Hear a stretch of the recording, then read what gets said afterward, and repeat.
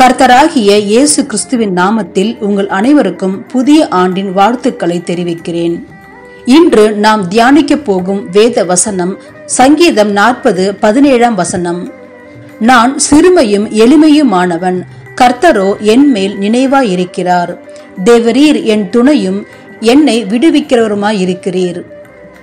மிகப்பெரிய ராஜாவான தாவீது தான் ஒரு அரசர் என்பதை கூட மறந்து நான் சிறுமையும் எளிமையுமானவன் என்று தன்னை தேவ சமூகத்தில் தாழ்த்துகிறார்.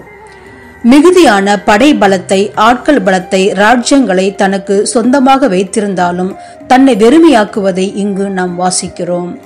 அவருடைய ராஜ்யபாரத்தின் நாட்களில் அநேக சத்துருக்கள் தாவீதை சூழ்ந்திருந்தார்கள்.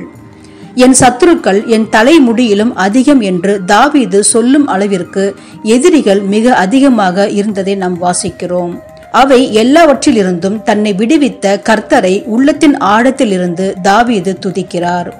கர்த்தரோ என்மேல் மேல் நினைவாயிருக்கிறார் என்று விசுவாசத்தோடு அறிக்கை செய்கிறார். கடந்த காலத்தை திரும்பி பார்த்து தாவீது தேவனை மகிழ்படுத்துவதையும் அவர் செய்த நன்மைகளை எண்ணி துதிப்பதையும் நாம் இங்கு வாசிக்கிறோம். நம்மையும் தேவன் புதிய ஆண்டிற்குள் கொண்டு வந்திருக்கிறார். தாவீதின் மனநிலையோடு நாமும் தேவனுக்கு நன்றிகளை செலுத்தி தேவரீர் என் மேல் நினைவா இருக்கிறீர் என்று சொல்லுவோம்.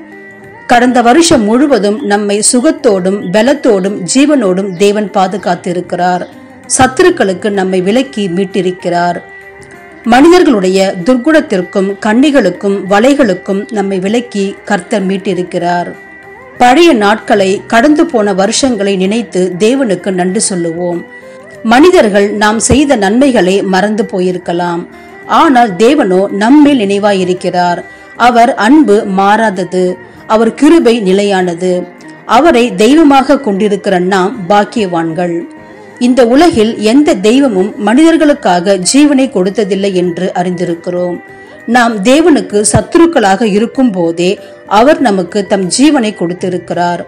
எல்லா துதியையும் கனத்தையும் மகிமையையும் தேவன் ஒருவருக்கே செலுத்தி புதிய ஆண்டிற்குள் உங்களை வரவேற்று இயேசு கிறிஸ்துவின் நாமத்தினாலே உங்களை ஆசிர்வதிக்கிறேன். ஆமேன்.